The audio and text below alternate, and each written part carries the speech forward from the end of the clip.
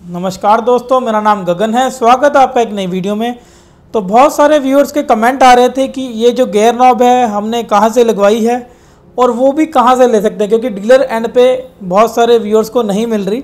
तो आपको आज की वीडियो में मैं पूरी डिटेल प्रोवाइड करने वाला हूँ कि कौन से ऑनलाइन प्लेटफॉर्म से आप ये परचेज़ कर सकते हैं जेनुअन भी और नॉन जेनुअन भी, और कैसे ये घर पर ही आप इंस्टॉल कर सकते हैं।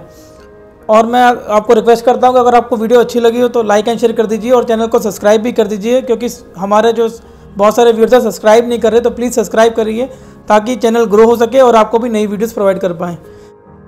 तो दोस्तों, जो गेयर नॉब हमें एस वेरियंट के साथ मिलती है, वो पूरी प्लास्टिक बिल्ड में आती है, अगर आप देख रहे होंगे स्क्रीन पे। और जो हमारी लेदर रैप वाली गेयर नॉब है, उसके अंदर आपको ग्लास फिनिश में एनग्रेविंग भी मिलती है गेयर्स की। तो ये बहुत ही प्रीमियमनेस प्रोवाइड करती है, आपके इंटीरियर को भी मैच करती है। कंपेयर टू जो आपकी प्लास्टिक वेल्ड वाली गेयर नॉब आपको मिलती है एस के अंदर। अगर इसकी बात करूँ कॉस्ट की तो around two thousand five hundred rupees की जेनन मिलती है आपको, और आपको ये आफ्टर मार्केट में मिल जाती है अंडर थाउज़ेंड रुपीज़ तो आप बाहर से भी लगवा सकते हैं। अगर आपको नहीं मिल रही तो ऑनलाइन लिंक्स भी प्रोवाइड करूँगा आपको मैं आगे वीडियो में। तो अगर आपको इसको रिमूव करना है तो आप इसको रोटेट कीजिए लेफ़्ट की तरफ़। रोटेट करते रहिए जब तक ये पूरी बाहर नहीं निकलती नॉब आपकी तो बहुत ही प्यार से आप इसको रोटेट करते रहेंगे तो ये आपकी निकल जाएगी गेयर लीवर के ऊपर से। अगर आपको प्लास्टिक वाली उतारनी है, उसके लिए वैसे मैंने ये मेटल वाली उतारी है अभी। तो आप देख सकते हैं, इस पर थ्रेड्स हैं और बड़े आराम से ये टाइट हो जाएगी। इसके ऊपर नई वाली आपकी गेयर नॉब जो भी अभी आप लेंगे आफ्टर मार्केट या जेनुअन अगर इसकी बिल्ड की बात करें तो आप देख सकते हैं ये फिनिश सिल्वर फिनिश और क्रोम फिनिश के साथ आती है और नीचे भी आपके थ्रेड्स जो ब्लैक वाला दिख रहा है, इसके अंदर आपके थ्रेड्स हैं, जिसपे ये टाइट होगी।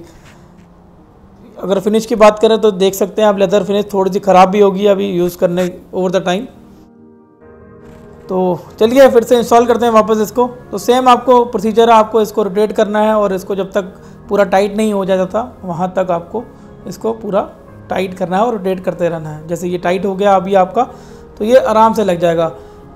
अगर आप टर्बो और डीजल की बात करें तो उसमें गेयर नॉब लगाना बहुत मुश्किल है तो आप घर पे नहीं लगा सकते। आपको डीलर के एंड पे ही लगवानी पड़ेगी बट ये बहुत ही आसान है। और सेम टू सेम आपको जैसे मैंने बताया कि एक्सेंट आई ट्वेंटी और ग्रैंड आइटन के पेट्रोल वेरिएंट के अंदर आपको लेदर और प्लास्टिक दोनों मिलती हैं।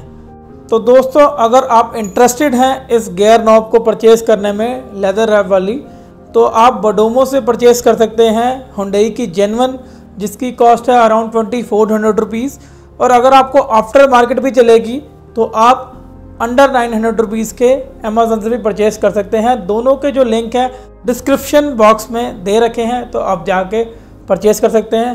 तो आज की वीडियो में बस इतना ही था। जल्दी मिलते हैं एक नई वीडियो के साथ। Thank you and have a nice day